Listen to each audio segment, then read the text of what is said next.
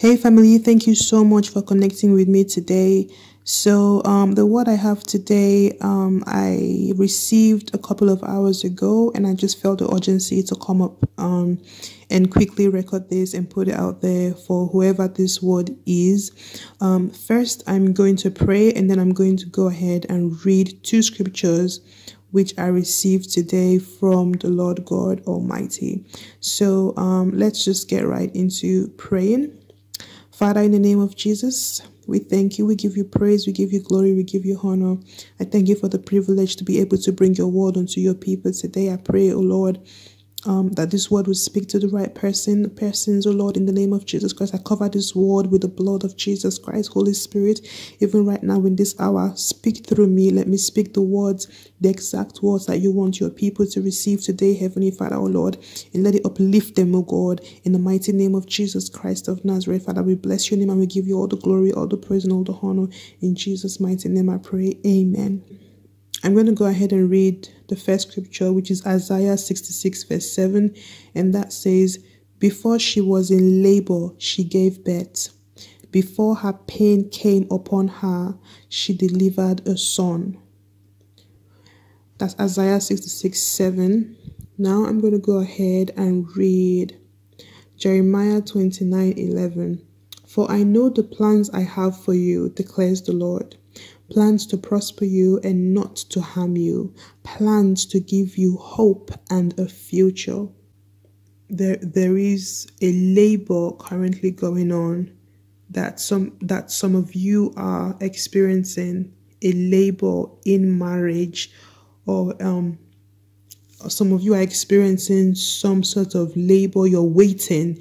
You're going through this waiting right and some of you are um, waiting um, to be connected to your um to your um divine spouse your covenant spouse your purpose mate right? And some of you are waiting on god and believing for a restoration of your marriage. And um I receive emails from um, a few of you that have asked me to put you in my prayers, and um, so yeah, God spoke to me this this evening a couple of hours ago about this that you know there's a labor currently going on and he sees you know how much you're waiting, how much you're trusting, how how much you're remaining faithful, you know, trusting in him to bring to pass what he says that he's going to bring, you know, to pass in in your life. So if we go back to um, Isaiah 66 7, it says, Before she was in labor, she gave birth. Before she was in labor, she gave birth. Before her pain came forth, came upon her, she delivered a son. That son that she be, that that son, that son that she delivered was was was the promise to her, right? The the promise to the woman was was the son, right? So she delivered a son. That that thing that you're believing God for is your promise, right? That thing you're believing God for is your promise. Okay. So it says before she was in labor, she gave birth. Before her pain came upon her, she delivered a son. God wants you to be reassured that what you're currently going through right now, like everything you're going through right now, you're waiting, you're you know seeking him, believing him, trusting him for everything. It is all going to come to you all of a sudden. It is coming. What you're believing God for is coming before you know it. Before you know it, you will be surprised. Many of you are going to get phone calls. Many of you are going to get emails. Many of you are actually going to um, come into contact in one way or you know the other with your future spouse in the next coming weeks in the next coming weeks in the next coming weeks in the next coming weeks many of you are going to be in touch with the one that god has for you in the next coming weeks this is all going to happen all of a sudden all of a sudden but don't give up God doesn't want you to give up just because you're in your, you know, waiting and it looks like it's forever. You're believing, you're trusting God. Do not give up the push. Do not give up the push of this labor because you are about you are about to bring forth. You are, you are about to give birth.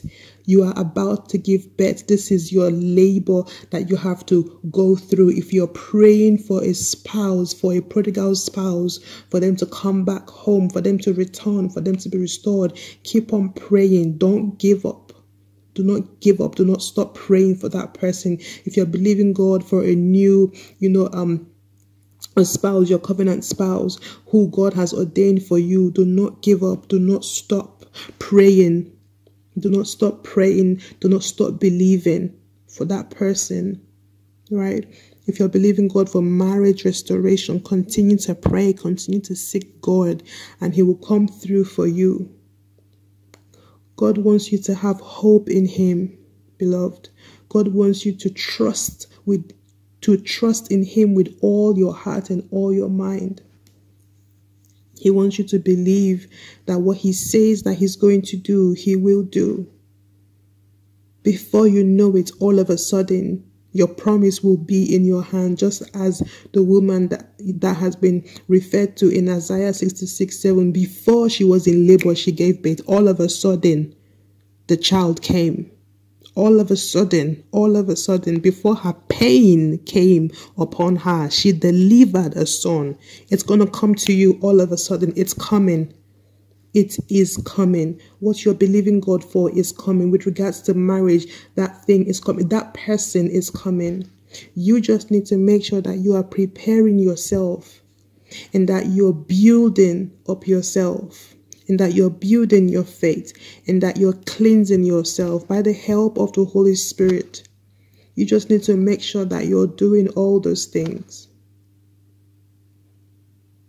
So that when that promise comes, you'll be able to receive that promise, manage the promise, and live with that promise the way God has ordained for you to live with that promise. That's so that it brings him glory in the end. Because that's because whatever god does in our lives or whatever god gives to us is all for his glory right? So do not give up the push. Keep pushing because you're in labor. It may seem painful right now. It may seem like oh my goodness when is this going to come to an end? I'm tired of waiting. I need somebody. I need a companion. I need a friend. I need this. I need that. I need that but as long as you do not give up and you continue to push, labor in prayer, continue to do what you need to do and do what God has called you to do, knowing what He says in Jeremiah 29, verse 11, God is not setting you up for nothing. He has planned your future.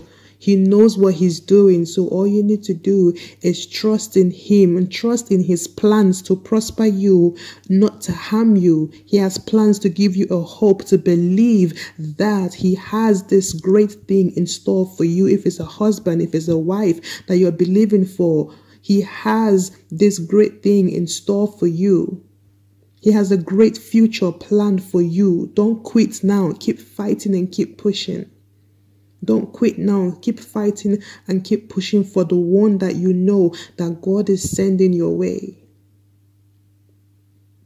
I have an article um it's it's a devotional that i um write weekly i've got one that i wrote a couple of weeks ago and the title is don't give up the push it is speaking to people that are going through one challenge or the other and i put that up on my uh, blog weekly i'm going to put a link of the blog in the description bar for you to check that out and have a read and it's going to help you strengthen your faith and just lift you up spiritually so I will advise you definitely have a look at the blog and have a read of the devotional. So continue to fast if you need to fast. Spend more time in the presence of God continue to commune with Him and continue to walk with the Spirit of God, with the Holy Spirit, continue to pray in the Holy Ghost, continue to trust in God. If you know, you know, that God has given you a sign already that, listen, this thing that I promised you is on the way. If God is restoring your marriage and He's already, you know, giving you a sign, this thing I've promised you is on the way. Or you're believing God for a new spouse, just keep believing and keep trusting and keep serving Him. The more committed you are to God, the more committed you are to the to, to the things of His kingdom, the more committed He will be to manifesting His plans, His promises in your life. But I just want to encourage you all that um, just the same way that I'm believing God for um, a spouse, I want you to also have faith because I've been believing God for a spouse for some time. I know what it's like. I can relate with you. It can be painful waiting for such a long time. It can be painful waiting for months and waiting for a year or two years. Um, you know, regardless of what you're waiting for, if you're waiting for your marriage to be restored or you're waiting for, you know, for a new spouse, you know, um, but don't give up. Um, just know that you have a friend here and you have someone here to, uh, you know, guide you and help you. And obviously, I'm being, you know, helped by the Holy Spirit and guided by Him too. He's our helper and He's our friend and He's our everything. So, anyone that needs prayers, please definitely reach out um, and know that you're not alone. I'm here with you and um, believing God for a divine spouse, my covenant spouse as well.